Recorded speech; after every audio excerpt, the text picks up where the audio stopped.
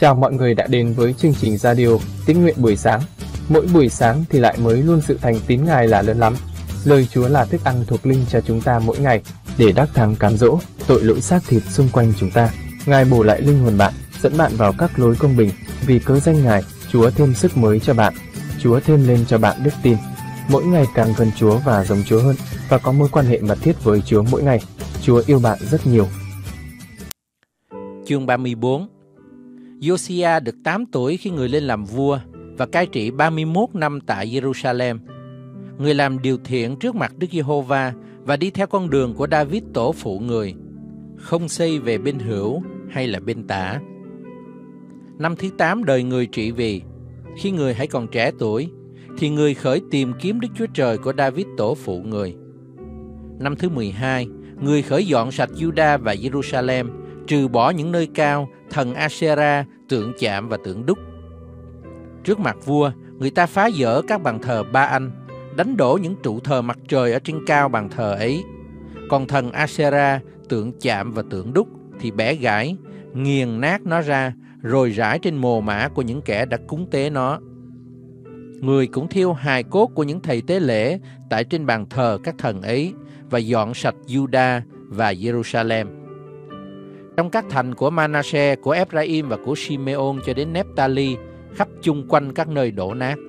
Người phá dỡ các bàn thờ và nghiền nát ra bụi những thần Asera, tượng chạm và tượng đúc, đánh đổ các trụ thờ mặt trời ở trong khắp xứ Israel, rồi người trở về Jerusalem. Năm thứ 18 đời người trị vì, sau khi đã dọn sạch xứ và đền thờ rồi, thì người sai Sa-phan, con trai Asalia, Maaseia quan cai thành và Joa, con trai Joacha quan thái sử, đặng sửa sang đền của Jehovah Đức Chúa Trời người. Các người ấy đi đến cùng Hinh kia, thầy tế lễ thượng phẩm, giao cho người tiền bạc đã đem vào đền Đức Chúa Trời, tức tiền bạc mà người Lê-vi, kẻ giữ cửa, đã nhận nơi tay người Manasseh, người Ephraim và nơi những kẻ còn sót lại trong Israel, cùng nhận nơi cả Judah, Benjamin và những dân cư thành Jerusalem. Chúng giao bạc ấy nơi tay những người coi sóc công việc của đền Đức Giê-hô-va.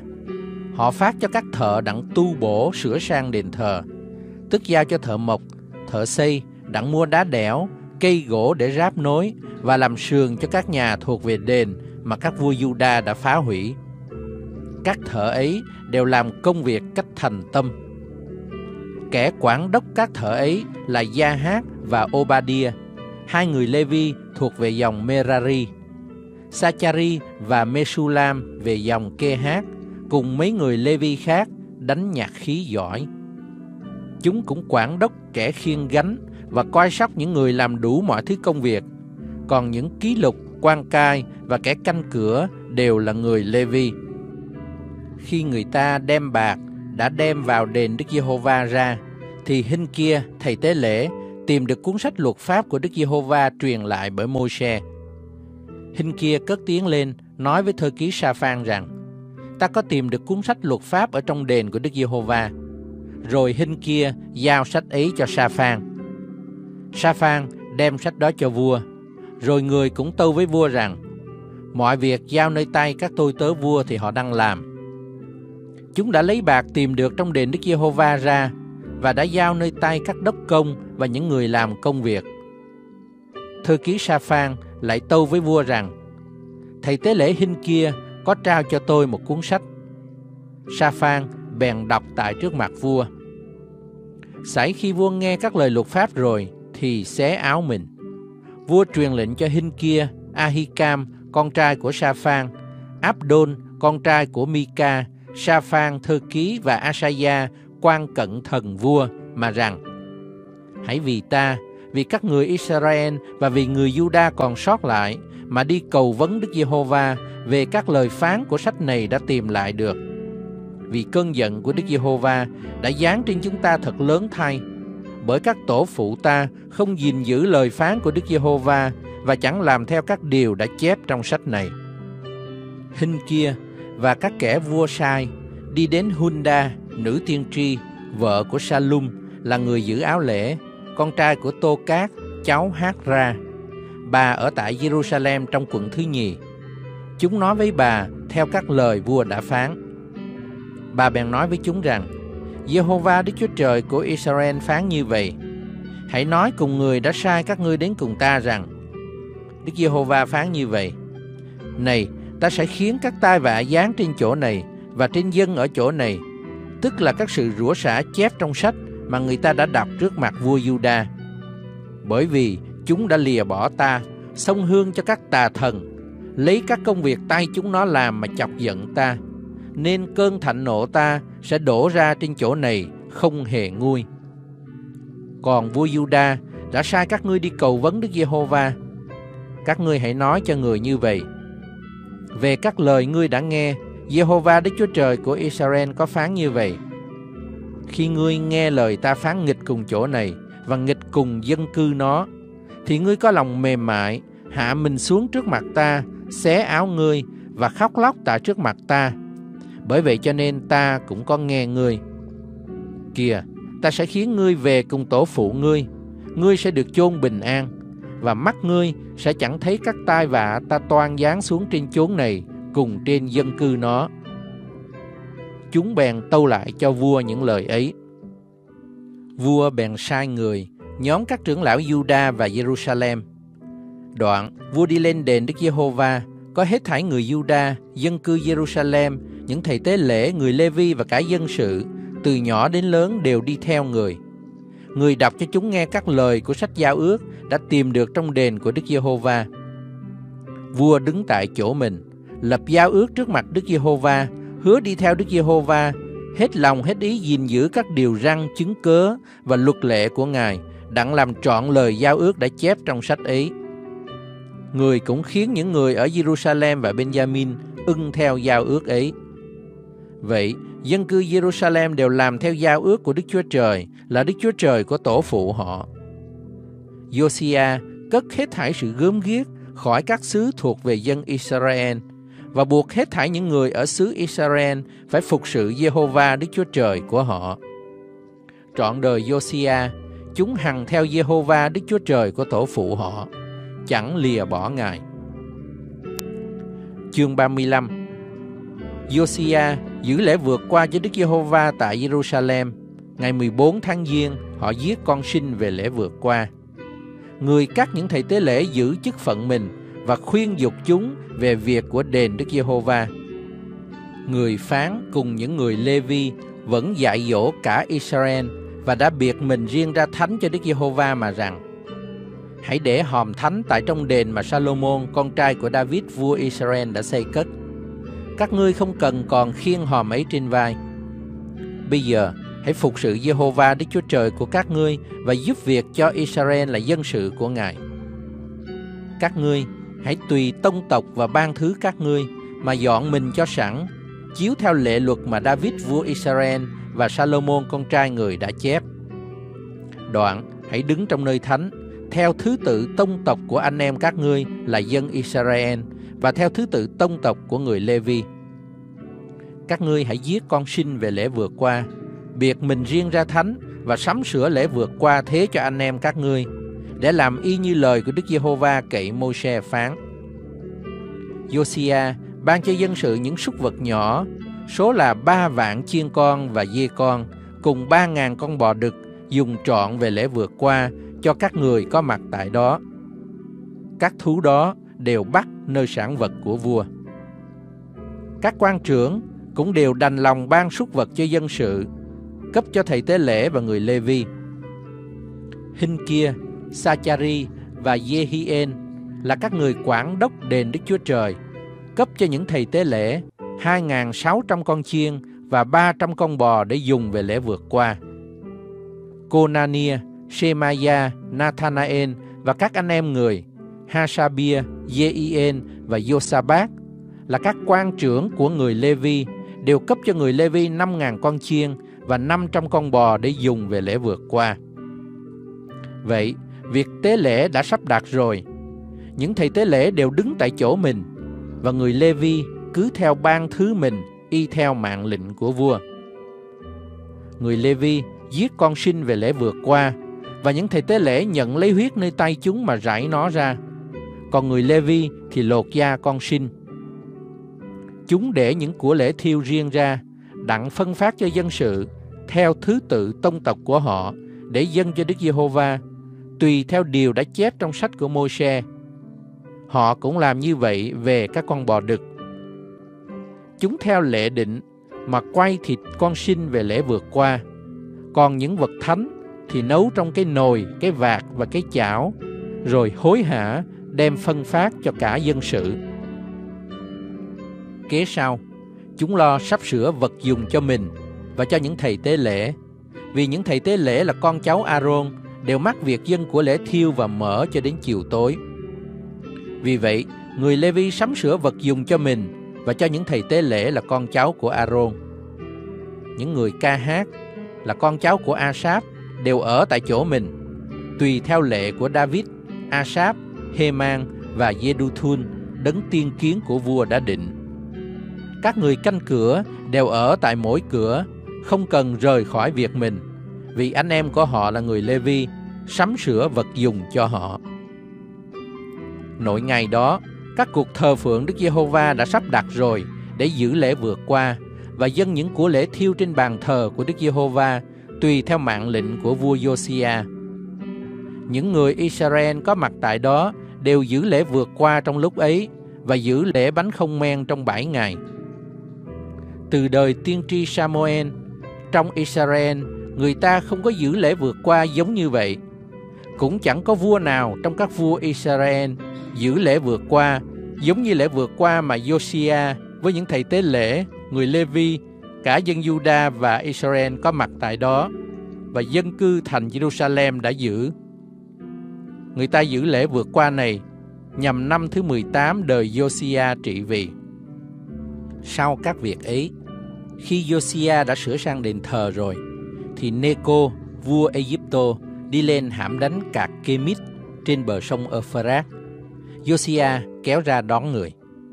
Neco sai sứ đến nói với người rằng, hỏi vua Juda, ta với ngươi có điều gì chăng?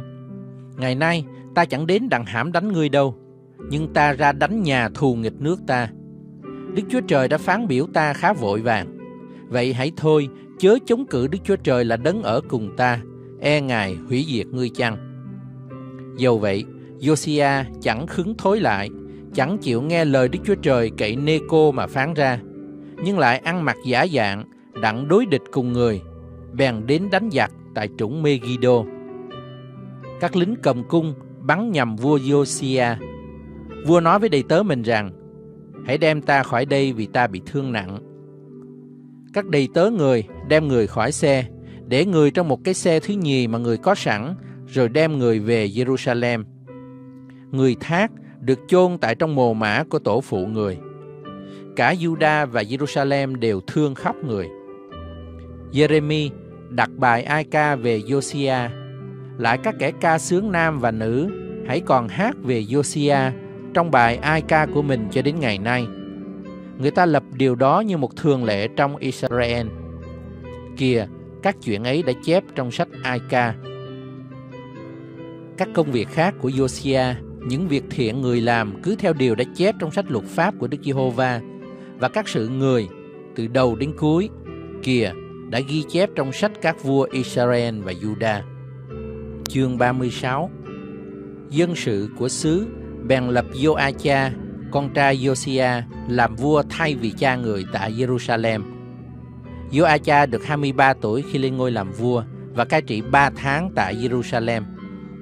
Vua Egypto trút ngôi người tại Jerusalem và bắt vả xứ 100 ta lân bạc và một ta lân vàng. Đoạn, vua Egypto lập Eliakim, em Joacha, làm vua của Juda và Jerusalem và đổi tên người ra là Jehoiakim. Neco bắt Joacha, anh của Jehoiakim, đem người về xứ Egypto. Jehoiakim được 25 tuổi khi người lên ngôi làm vua. Người cai trị 11 năm tại Jerusalem và làm điều ác trước mặt Jehovah Đức Chúa Trời của người.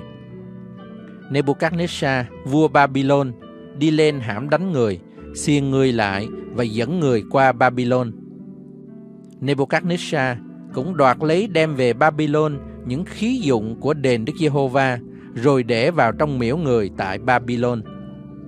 các công việc khác của Jehoiakim, những sự gớm ghiếc người đã làm và sự đã tìm được trong lòng người, thảy đều chép trong sách các vua Israel và Juda.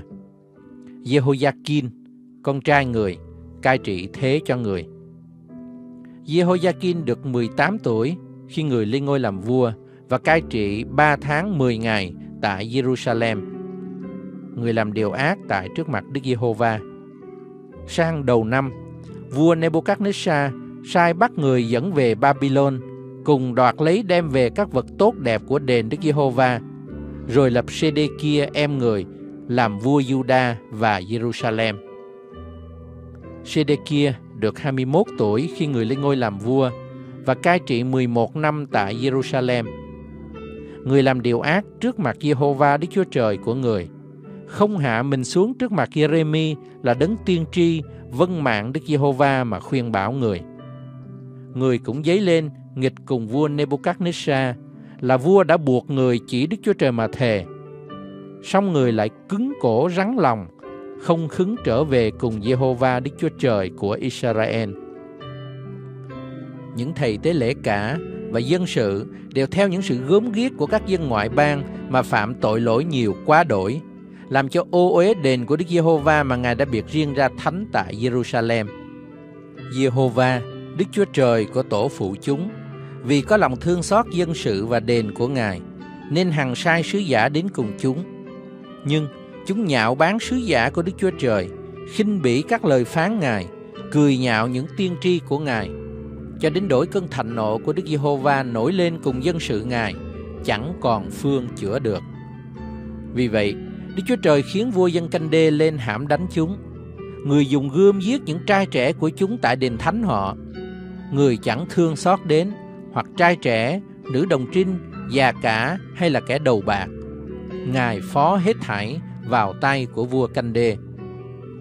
Các khí dụng nhỏ và lớn của đền Đức Chúa Trời, các bửu vật của đền Đức Giê-hô-va, các bửu vật của vua và của các quan trưởng vua, cả thảy đều bị đem qua Babylon. Chúng đốt đền Đức Chúa Trời, đánh đổ vách thành Jerusalem, lấy lửa đốt các cung điện và phá hủy các khí dụng tốt đẹp của nó.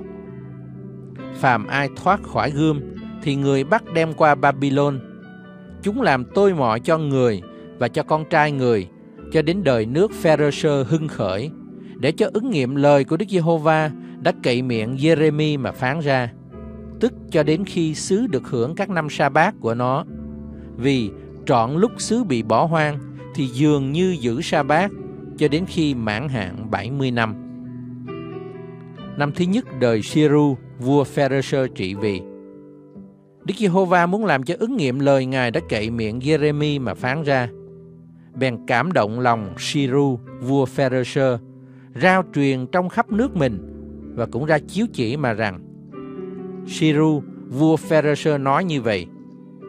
Giê-hô-va, Đức Chúa Trời đã ban cho ta các nước thế gian và biểu ta xây cất cho Ngài một cái đền ở tại Jerusalem trong xứ Juda.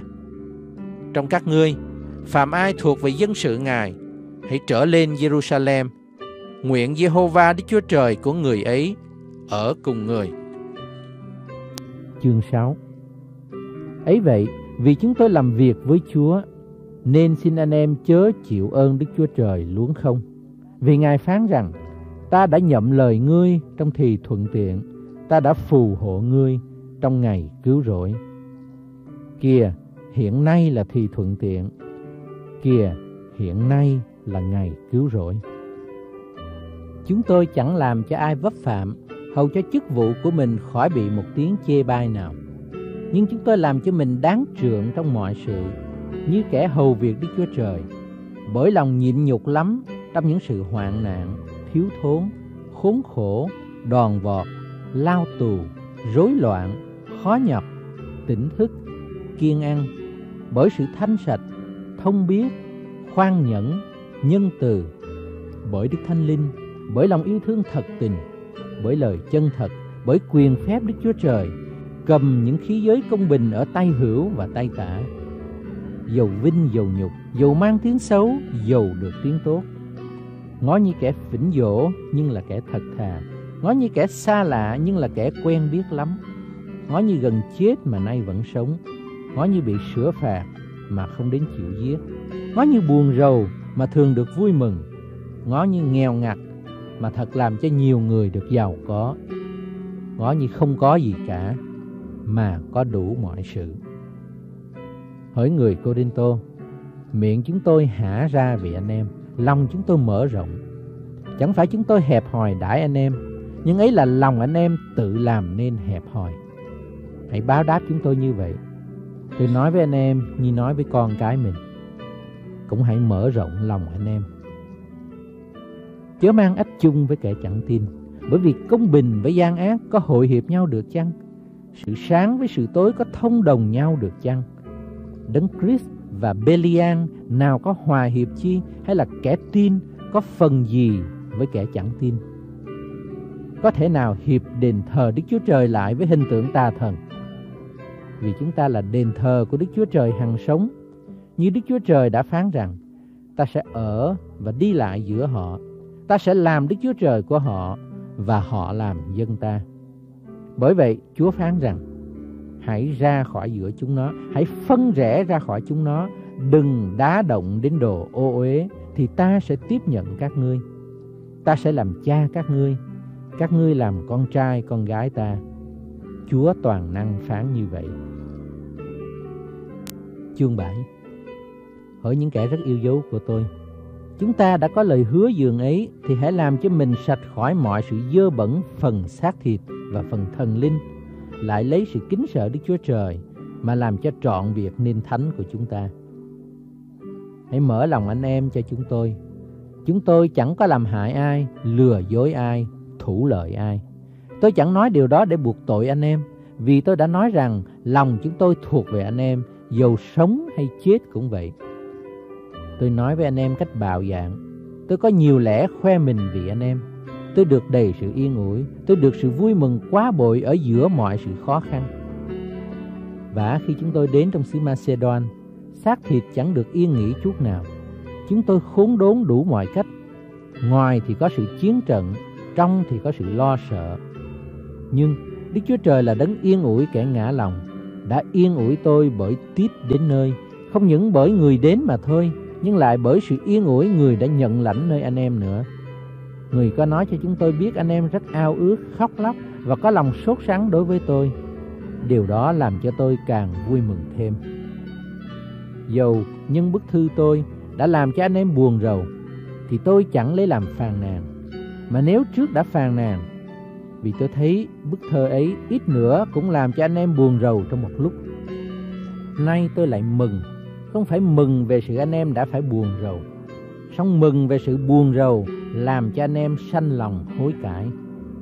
Thật, anh em đã buồn rầu theo ý Đức Chúa Trời, đến nỗi chưa chịu thiệt hại bởi chúng tôi chút nào.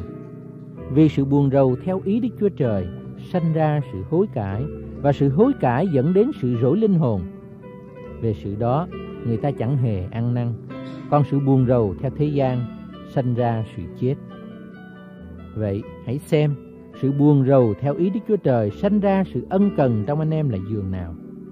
Lại có sự chữa chối, buồn giận, răng sợ, sốt sắng, nông nã, trách phạt là giường nào. Anh em đã tỏ ra cho ai nấy đều biết rằng mình vốn là thanh sạch trong việc đó. Lại còn, nếu tôi đã viết thơ cho anh em, ấy không phải vì cớ kẻ làm sự trái nghịch, cũng không phải vì cớ kẻ chịu sự trái nghịch, nhưng hầu cho lòng anh em yêu chuộng chúng tôi được tỏ ra giữa anh em ở trước mặt Đức Chúa Trời. Ấy là điều đã yên ủi chúng tôi. Nhân sự yên ủi đó, chúng tôi lại được sự vui mừng càng lớn hơn nữa khi thấy sự vui mừng của Tít, vì anh em thảy đều đã để cho tâm thần người được yên lặng. Nếu tôi đã khoe mình với Tít về anh em trong sự gì, thì tôi cũng chẳng hổ thẹn. Nhưng vì chúng tôi đã thường nói điều thật với anh em, nên lời khen về anh em mà chúng tôi khoe với Tít cũng thấy là thật. Khi người nhớ đến sự vâng lời của anh em hết thảy và anh em tiếp người cách sợ sệt run rẩy giường nào, thì tình yêu thương của người đối với anh em càng bội lên. Tôi vui mừng vì có thể tin cậy anh em trong mọi sự. Thi Thiên 147 Khá ngợi khen Đức Giê-hô-va vì là điều tốt. Hãy hát ngợi khen Đức Chúa Trời chúng ta vì là việc tốt lành. sự ngợi khen hiệp lễ nghi. Đức Giê-hô-va xây cất Jerusalem, Ngài hiệp lại những kẻ bị tản lạc của Israel, chữa lành người có lòng đau thương và bó vít của họ. Ngài đếm số các vì sao, gọi từng tên hết thảy các vì ấy. Chúa chúng tôi thật lớn, có quyền năng cả thể, sự thông sáng Ngài vô cùng vô tận. Đức Giê-hô-va nâng đỡ người khiêm nhường, đánh đổ kẻ ác xuống đất. Hãy hát sự cảm tạ cho Đức Giê-hô-va, gãi đờn cầm mà ngợi khen Đức Chúa Trời chúng tôi. Ngài bao các tầng trời bằng mây, sắm sửa mưa cho đất, làm cho cỏ mọc trên núi, ban đồ ăn cho thú vật và cho quả con kêu rêu. Ngài chẳng đẹp lòng sức của ngựa, cũng không thích chân của loài người. Bèn là đẹp lòng người kính sợ Ngài và kẻ trông đợi sự nhân từ của Ngài. Ở Jerusalem hãy ngợi khen Đức Giê-hô-va, ở Sion hãy ca tụng Đức Chúa Trời ngươi. Vì Ngài đã làm cho then cửa ngươi nên vững chắc, ban phước cho con cái ngươi ở giữa ngươi. Ngài giáng bình an trong bờ cõi ngươi, làm cho ngươi được đầy dẫy lúa miếng tốt nhất. Ngài ra lệnh mình trên đất, lời của Ngài chạy rất mau. Ngài cho mưa tuyết như lông chiên, rải sương móc trắng khác nào cho. Ngài ném giá từng miếng, ai chịu nổi được sự lạnh lẽo của Ngài. Ngài ra định làm cho tuyết giá tan ra, khiến gió thổi nước bèn chảy. Ngài truyền lời mình cho Gia Cốp, luật lệ và mạng lệnh mình cho Israel. Ngài chẳng hề làm như vậy cho dân nào khác. Chúng nó không có biết mạng lệnh của Ngài. Hallelujah. Cảm ơn Chúa lời của Ngài bày tỏ cho con. Thì giờ này chúng ta đến với Chúa trong sự cầu nguyện. Xin Thánh Linh Chúa, hãy bày tỏ cho con biết, Ngài dạy dỗ hay ấn chứng cho con điều gì qua lời của Ngài. Xin lời của Ngài được linh hồn con ăn nuốt vào trong tấm lòng và tâm trí của con mỗi ngày thêm lên lời của Ngài, để linh hồn con được tăng trưởng, thêm lên đức tin đặt để nơi Ngài. Xin Chúa cho con biết về Ngài nhiều hơn và con khát khao mối quan hệ mật thiết với Ngài nhiều hơn. Lạy Chúa con cảm ơn Ngài, mỗi ngày mới ngày ban cho con hơi thở để tiếp tục sống trên đất này. Con nguyện huyết báo của Chúa Giêsu Christ thanh tẩy, tẩy sạch, bôi xóa những suy nghĩ, tư tưởng, hành động trong tâm trí, trong tấm lòng của con như ấy là gian dâm, ô uế, lung tuồng, thờ hình tượng, phù phép, thù oán, tranh đấu, ghen ghét, buồn, giận, cãi lẫy, mất bình, bè đảng, ganh gổ, say xưa, mê ăn uống, cùng các sự khác giống như vậy. Con nguyện xin dòng huyết báo của Ngài tẩy sạch bôi xóa sự xác thịt của con không đẹp lòng Ngài ra khỏi con ngay giờ này. Bây giờ con được thánh sạch đứng trước mặt Ngài. Chúa ơi xin hãy cáo trách và thanh tẩy khi môi miệng con nói điều dơ giấy không đẹp lòng Ngài. Xin Chúa hãy thêm sức và hướng dẫn con ăn, hoặc uống, hay là làm sự chi khác, hãy vì sự vinh hiển Đức Chúa Trời mà làm. Xin Chúa thêm lên cho con đức tin để mỗi ngày con trong cậy nơi Chúa càng hơn. Xin Chúa thêm lên sự sức giàu trên con để con bày tỏ danh của Ngài trên chính đời sống hàng ngày của con, để con như muối của đất, ánh sáng của thế gian. Con nguyện Thánh Linh Đức Chúa Trời đổ đầy, đầy dẫy con Chúa ơi, những bông trái của Thánh Linh, ấy là lòng yêu thương, sự vui mừng, bình an nhịn nhục, nhân từ, hiền lành, trung tín, mềm mại, tiết độ đầy dẫy trên con. Con xin Chúa thêm sức mới, thêm đức tin cho con. Xin Chúa dẫn dắt con để con đắc thắng một ngày mới trong ngày. Con cảm ơn Chúa, con dâng mọi vinh hiển tôn quý lên ba ngôi Đức Chúa Trời toàn năng và phước hạnh con nhận lãnh từ nơi Ngài. Và con thành kính dâng lên cha lời cầu nguyện trong danh Chúa Giêsu Christ. Amen. Cảm ơn bạn đã lắng nghe. Xin Thánh Linh Chúa cho sứ điệp này để khích lệ thêm động lực bạn bước đi với Chúa mỗi ngày. Mọi đóng góp ý kiến hay góp phần dâng hiến cho chương trình, xin gửi về gmail dưỡng linh cơ đốc 2020a gmail.com. Bạn ủng hộ chương trình bằng cách chia sẻ chương trình rộng rãi trên mạng Internet, cộng đồng, xã hội. Hẹn bạn dưỡng linh hàng ngày tiếp theo. Chúa yêu bạn rất nhiều.